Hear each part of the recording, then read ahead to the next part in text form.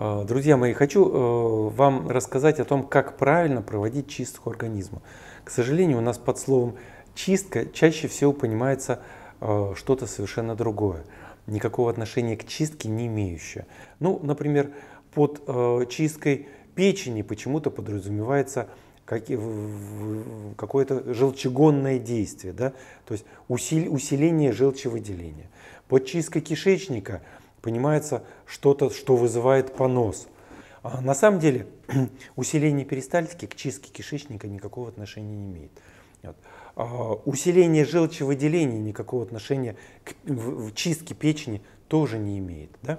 Вот. А равно как а, там, например, а, прием лаврового, отвара лаврового листа никакого отношения к чистке э, суставов тоже не имеет. Равно как прием какого-то там, тот же самый лимфодренаж, какие-то лимфо, э, лимфодренажные э, методики никакого отношения к чистке крови или сосудов тоже не имеют. Да? И так далее, и так далее. То есть это все сказки людей, которые не понимают, что такое чистка на самом деле. Вот. И хотят какую-то методику, которую они проталкивают, выдать за э, что-то, то, что глобально улучшает условия работы нашего организма. На самом деле вовсе нет. Под словом чистка под, должно подразумеваться, я так понимаю, очищение. Да? Очищение это выведение грязи, или выведение шлаков, или выведение каких-то токсинов из тела. Да? Согласны? Ну, например, а, чистка кишечника будет, например, если мы возьмем сорбент, какой-то, да, и пустим его в кишку. Вот. Сорбент это то, что на себя сорбирует, связывает все, с чем он сталкивается. Да? Соответственно, если в кишечнике накопились, накопилась какая-то грязь, какие-то токсины, которые по какой-то причине не могут оттуда выводиться, то когда мы пускаем в кишку сорбент, он на себя эти токсины связывает и выводит вместе с собой из кишки. Вот это будет чистка, это понятно. Если вы, например, берете, делаете клизму, для толстой кишки, да, напускаете, впускаете туда там 3 литра воды, вот, а держите ее максимальное время в кишке, она растворяет там все вот эти камни каловые и так далее, и потом э, вы, вы выливаете это из себя, это будет чистка, это понятно. Вот, это чистка. А вот если, например, вы выпиваете там э, касторовое масло, да, там полстакана касторового масла взяли, вы, выпили, что вы делаете? Вы усиливаете перистальтику. Да, перистальтику вы усиливаете. Но а, а в чем чистка происходит? В том, что у вас э, быстро-быстро все это а, протекает мимо и все? Какая же это чистка? Это не чистка, это просто ускорение перистальтики. Вот это надо понимать. В этом смысле, пожалуй, самая адекватная, самая полная чистка нашего организма а, может осуществляться с помощью йоговской техники, которая называется шанг пракшалана. Почему я так думаю? Э, потому что шанг пракшалана это введение в наше тело гипертонического солевого раствора через кишечник. Э, то есть человек выпивает определенный объем э, избыточно солевого раствора, гипертонического.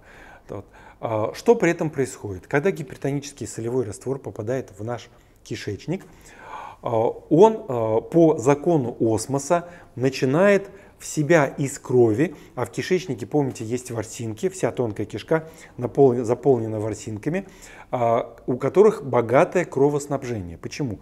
Потому что в тонкой кишке происходит всасывание да, из тонкой кишки в кровь.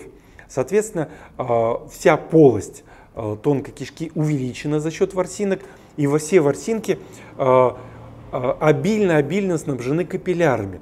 Почему? Для, смысл в том, чтобы увеличить площадь соприкосновения э, кишки, полости кишки с полостью э, с, с кровеносных сосудов.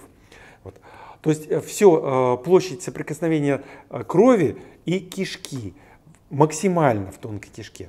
именно там происходит усвоение пищи. Так вот, когда вы заполняете эту кишку солевым раствором, происходит осмос. Осмос, как вы помните, это движение воды от э, места меньшего концентрации солей к месту большего концентрации солей. Да? Соответственно, если вы выпиваете гипертонический солевой раствор, попадая в тонкую кишку, он начинает из крови на себя вытягивать воду. Но в воде растворены все вещества, находятся все вещества, которые есть в крови. Они растворены именно в воде. Да? Соответственно, все вот это растворенное в воде, начинает этот гипертонический раствор на себя вытягивать из крови. А, у, таким образом уви, уменьш, увеличивается плотность крови, а, соответственно, организм пытается ее поддержать. То есть начинается выход воды из э, межклеточной ткани в кровь. А то же самое уменьшается жидкость, уменьшается количество воды в межклеточной ткани. Соответственно, начинает выход из клеток воды тоже производиться сюда. Таким образом, вода, содержащая все на себя, все, все в себе содержащее, все, что в ней растворено, начинает выходить в полость кишки. А потом выводиться со стулом из организма. Естественно, вот это все приводит к обезвоживанию. И организм просит, просит воды, хозяин, дай, дай пить. И человек начинает много-много снова употреблять вот этой воды. Вот. И за одну чистку, за одну э, э, прокшалану э, человек выпивает несколько литров воды.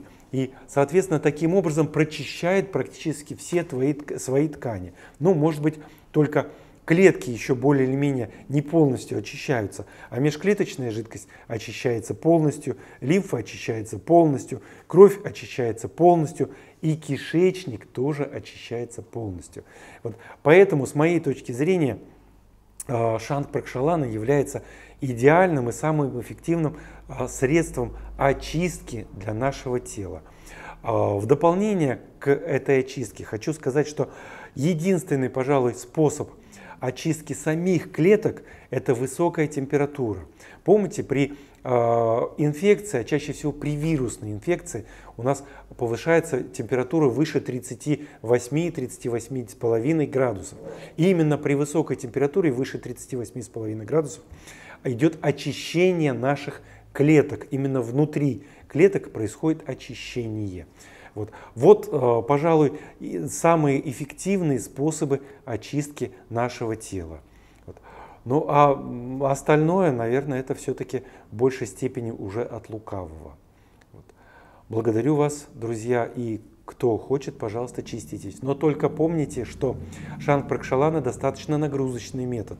Вот. И применять ее можно только в том случае, если у вас достаточно крепкий, сильный организм человеку ослабленному лучше начинать с чего-то другого. Нужно сначала восстановить свои силы, и потом уже только можно будет допустимо проводить шанг пракшалану. Дорогие друзья, я с радостью напоминаю вам, что у нас в школе здоровья открылся клуб школы здоровья где мы буквально пошагово, за ручку вместе все проходим решение всех проблем с вашим здоровьем.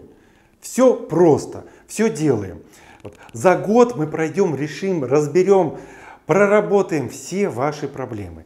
Поэтому тот, кто хочет подписаться на клуб школы здоровья, пожалуйста, переходите по этой ссылочке или по этой ссылочке. И мы всегда вместе с вами все отработаем. Приходите, будьте здоровы.